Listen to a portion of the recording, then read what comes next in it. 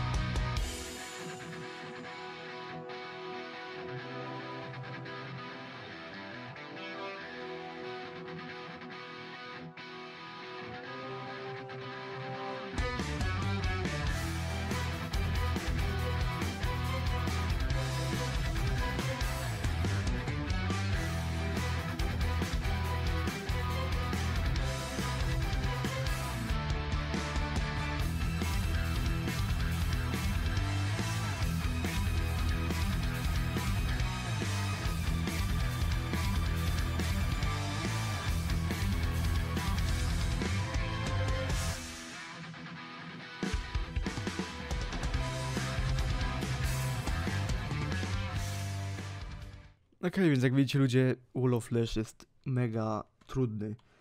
Jak żeście wzięli, jak on się przyspieszył na koniec, jak on strzelał szybko, normalnie nie niczym Star Warsy, nie? I jeszcze tak szybko za mną szedł. Wow. Naprawdę bardzo mocny jest ten Wall of Flash teraz i jeszcze no, widzieliście, że platformy nie starczyło, a jest i tak bardzo długa.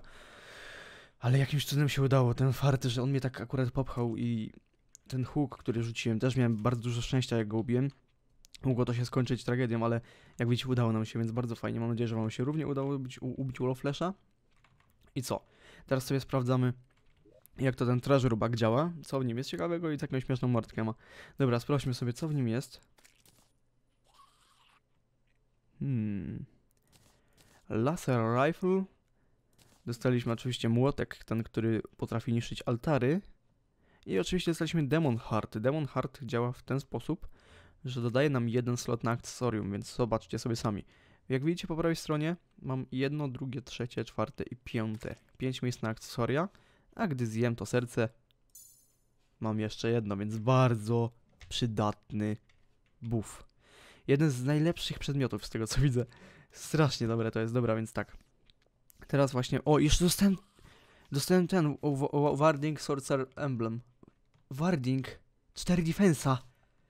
LOL, jak idealnie, jeszcze podmaga. Fajnie, świetnie, podoba mi się. Pod, pod Warriora też by się przydało, w sumie musiałbym mieć trzy wszystkie elementy, ale cóż, też może być. Dobra, ubiliśmy Wall of Flasha, jestem zajarany strasznie, że nam się udało. I co? Mm, nie wiem, może spróbujemy jeszcze raz. Tak wiecie, żeby, mm, żeby, żeby, nie wiem, w sumie miałem farta stra- strasznego, ale spróbuję go jeszcze raz ubić z, nie wiem, może z dwa razy, tak żeby zdobyć emblematy jeszcze różne przedmioty z niego, więc może przy okazji trofeum jeszcze zdobędziemy, dobra. Tak czy inaczej, ja idę do piekła, właśnie będę go bił, Mm, może wam zostawię przyspieszenia, mm, a jak nie, to nie wiem, nie, na pewno, na pewno zostawię, więc dobra. Idźcie sobie patrzeć na przyspieszenia, mm, no a ja się muszę przygotować, więc zaraz się zobaczymy.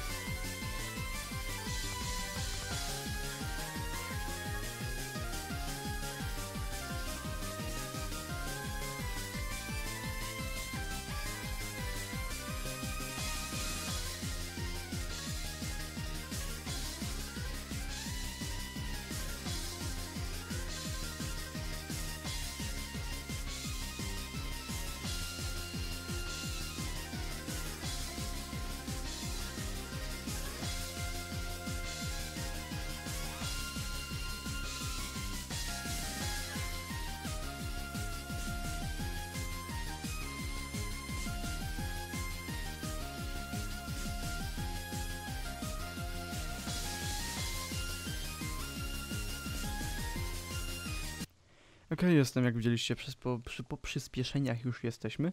I teraz tworzymy sobie trzy paczuszki z naszego Wall of Flasha, więc zobaczymy, co nam się trafi. Pierwszy jest Clockwork. Clockwork jest bardzo fajną bronią range dla strzelającego, więc bardzo mi się przyda. Kolejny emblem na maga, więc nie bardzo. No i to już zawsze wypada, dobra, więc otwieramy, otwieramy kolejny. Laser li rifle znowu, serio? Samon... Co? Summoner Emblem? Ej, oni serio w tym patchu zrobili tak, że wzięli Summonera pod uwagę bardzo. Jak widzicie, jest, jest emblem pod Summonera. Nasze miniony zdają więcej obrażeń. Ej, strasznie fajnie, że wzięli Summonera, jak będzie bardziej go podrasowali jako klasa. I zobaczymy ostatnią paczkę. Znowu ra Laser Rifle i znowu Sorcerer Emblem. Ale lipa. Trzy emblemy na maga i jeden na tego. No dobra, no nic. Posprzedaję sobie te wszystkie rzeczy, Clockwork sobie zostawię, bo Clockwork aktualnie jest lepszy od mojego mini szarka, później go przerobię na mega szarka, będzie już e, Clockwork odłożony, ale póki co będzie on, właśnie używany. Dobra, ja sobie to wszystko um, tutaj pozamieniam, posortuję i te sprawy. Więc tak, to był 12 odcinek i zapraszam was już do 13, w którym będziemy szukać nowych ród. Na początku udamy się do, oczywiście do Corruption, żeby zabić, czy zabić, żeby zniszczyć altary, bo kiedy zniszczymy altary właśnie pojawiają się nowe rudy na naszym świecie, więc w następnym odcinku się tym zajmiemy, znajdziemy sobie nowe rudy, zrobimy sobie nową zbroję, więc przygotujcie, że w następnych odcinkach będzie bardziej eksploracyjnie, ponieważ będziemy szukać ród po jaskiniach. Tak czy inaczej, do następnego odcinka.